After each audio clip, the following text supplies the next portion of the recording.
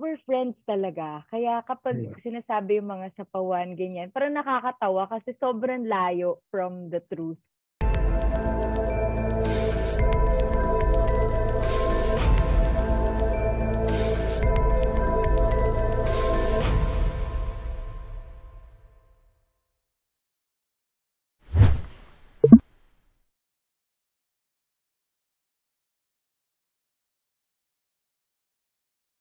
Ako per- personally, in preparation for the concert, I'm trying to, trying to, pero medyo failing, trying to relax. Okay. Um, yeah, kasi, kasi tulad nga ng sabi ni Tito Boy when we had our little intimate workshop na a relaxed mind talaga will work best. Uh, and ayun, siguro just trying to stay healthy. Hindi muna labas na labas, ganyan. Kasi syempre yung health naman talaga namin yung pinaka-important. With your second question, yung bonding, lagi kaming, ano, well, at least sila, Ate Jessica, Ate Maria, and Ate Hannah, since kami yung magkakad, kami yung, sila yung kasama ko sa dressing room. Talagang, lagi kami lumalabas, like after AOS, ganyan. But with with all of us as a whole, close kami. Like may group chat pa nga kami.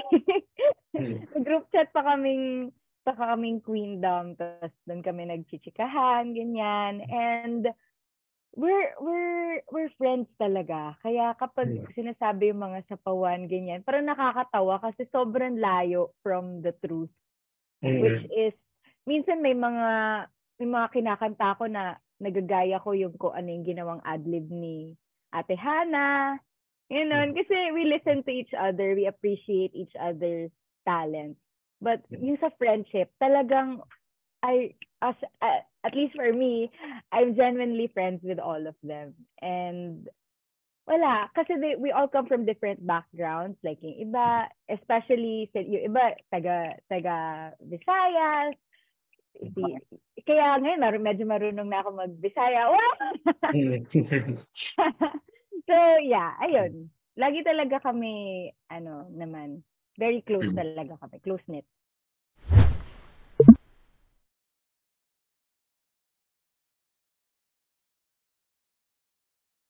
I think for me, a queen is someone who knows how to listen. Kasi I think what sets queendom apart is that we're friends. We listen to each other's advice, hindi lang sa pagkanta, but in life in general.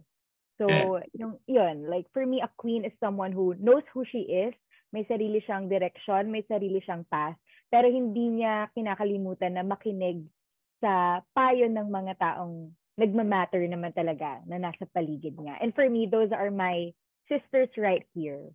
Yes. Kailan Yeah. mo nararamdaman na queen ka?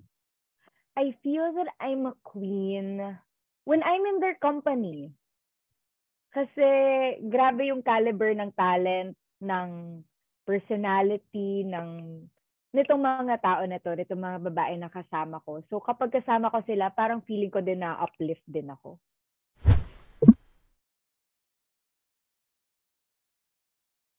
Local, oh, di ba kailangan na may local, Jaya.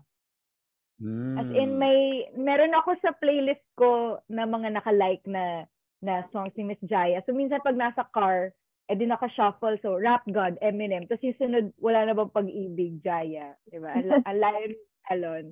But, talag, I, I, meron kasi ako before na parang sa MP3 lang na yung sa concert nila, may mga kasama siya ibang divas, sila Miss Lani, ganyan, tapos naka-medley yun. Tapos like kung pinapakinggan, tapos like kung ginagaya Miss Jaya. Okay. So I would say na very big influence siya sa akin. Internationally, Lady Gaga talaga ako. Kasi I went through a tough time in my life when she released her uh, Applause album. And dun ko unang na-experience talaga yung music helped me so much to get I listened to that whole album on repeat. And then that's when I started learning about her life na meron pa lang nung bata pa siya merong nagpe-perform talaga siya eh, regularly. minsan yung mga video, yung audience, dalawa lang, tatlo lang. Mhm. Or meron ding Facebook group na, kasi her real name, I think, is Stephanie Stephanie. Germanota. Something like that. So may Facebook group na, Stephanie Germanota, you will never be famous. May ganong Facebook group. And then look where she is now. Trying out different genres. She's doing she she did Sound of Music, tapos she does jazz with Tony Bennett, and then she also does pop. She's also an actress. So sobrang inspirational lang nung story niya for me.